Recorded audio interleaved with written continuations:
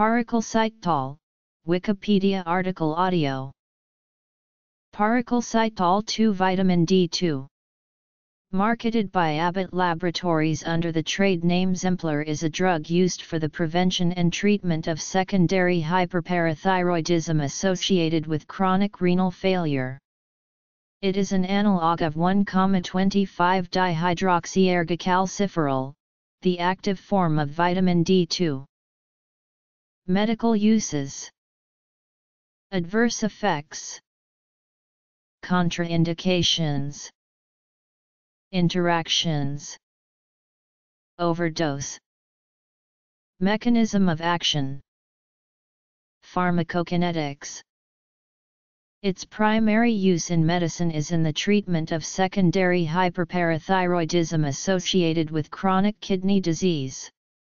In three placebo-controlled studies, chronic renal failure patients treated with paricalcitol achieved a mean parathyroid hormone reduction of 30% in six weeks. Additionally there was no difference in incidence of hypercalcemia or hyperphosphatemia when compared to placebo. A double-blind randomized study with 263 dialysis patients showed a significant advantage over calcitriol. After 18 weeks, all patients in the paricalcitol group had reached the target parrot hormone level of 100 to 300 pg/ml, versus none in the calcitriol group.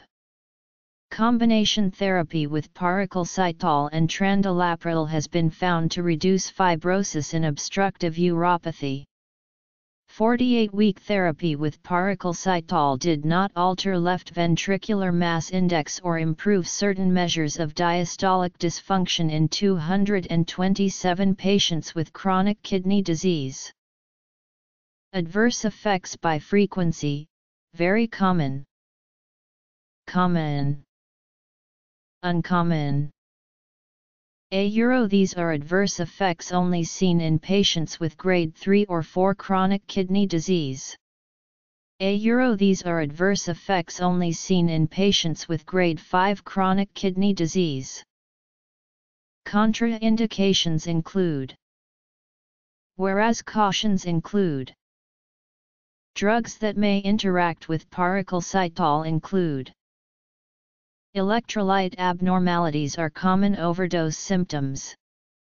Treatment is mostly supportive, with particular attention being paid to correcting electrolyte anomalies and reducing intake of calcium in both the form of supplementation and diet. As it is so heavily bound to plasma proteins hemodialysis is unlikely to be helpful in cases of overdose.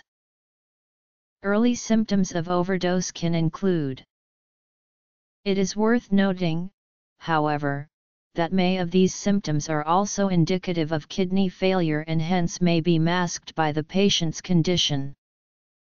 Late symptoms of overdose include like 1,25-dihydroxyergocalciferol, paricalcitol acts as an agonist at the vitamin D receptor and thereby lowers parathyroid hormone levels in the blood the plasma concentration of paricalcitol decreases rapidly and log linearly within two hours after initial intravenous administration.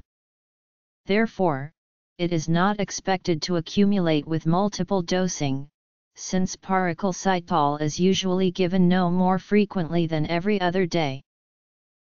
Nausea Vitamin D intoxication, hypercalcemia, hypersensitivity to paricalcitol or any of its excipients. Impaired liver function, it is also advised that physicians regularly monitor their patients' calcium and phosphorus levels.